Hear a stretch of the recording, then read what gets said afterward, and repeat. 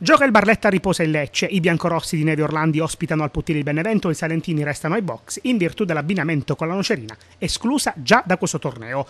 Non ha più obiettivi da raggiungere in questo campionato, in realtà non li ha mai avuti, può solo puntare ad arrestare la serie negativa il Barletta nel match interno contro i Sanniti, in corsa invece per un piazzamento playoff e con motivazioni decisamente superiori a quelle dei biancorossi.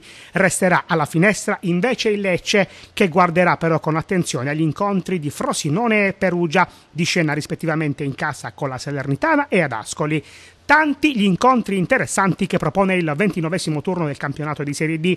Uno in particolare, l'incrocio allo Iacobone tra il Taranto e la capolista del girone H, il Matera, ultima chiamata utile in chiave promozione diretta per gli ionici allenati da Aldo Papagni, che devono conquistare l'intera posta in palio per perfezionare l'aggancio in classifica alla formazione di Vincenzo Cosco.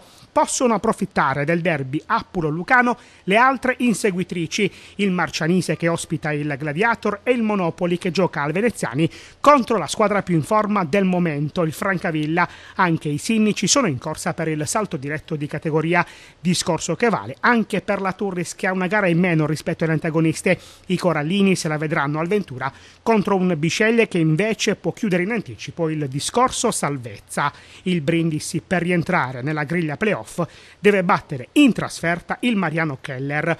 Punti in palio solo per la permanenza invece nel derby tra Manfredonia con la novità Vadacca in panchina e San Severo e nel match tra Real Metapontino e Grottaglie. In eccellenza infine la Fidelisandria deve continuare a vincere per inseguire la vetta della classifica distante tre lunghezze quando mancano quattro giornate al termine della stagione regolare.